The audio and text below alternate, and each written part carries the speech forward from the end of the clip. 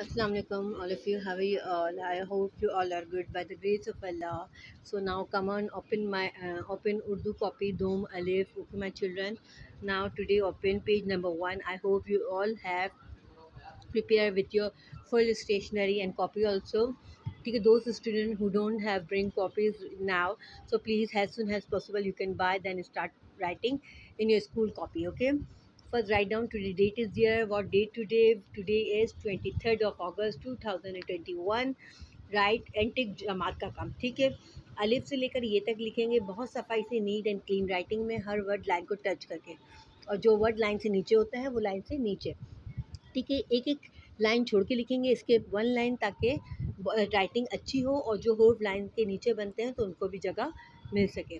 ठीक है, ये जमात का काम है। इसी के बाद नेक्स्ट पेज है page number two this is your homework घर का काम, घर के काम में टिक करेंगे।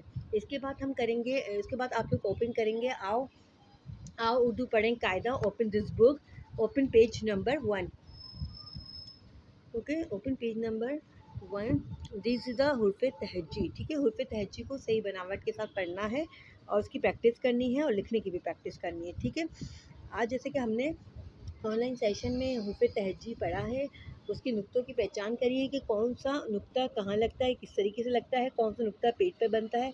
आप लोगों ने भी सेम इसी तरह इसको बनाने की कोशिश करनी है और पढ़ने की कोशिश करनी है। जिन बच्चों को कोई डिफ़िकल्टी पेश आती है तो कोशिश कीजिए इसको कम अज़ कम दस से बारह दफ़ा या बारह से पंद्रह दफ़ा या पंद्रह से बीस दफ़ा या इससे ज़्यादा पढ़ सकते हैं तो पढ़ने की कोशिश कीजिए।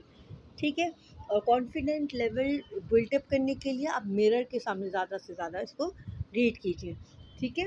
ये हमारा हो गया रिवीजन वर्क ठीक है? क्योंकि ये हम नर्सरी में भी पहले करके आ चुके हैं, ये हमारे लिए नया वर्क नहीं है। ये जितना भी ड्यूरेशन हमारा वेकेशंस में वेस्ट हुआ है तो ये उसका रिवीजन है। I hope all things are clear in see tomorrow for new lesson and new vocabulary अल्लाह हाफिज़। Take care of your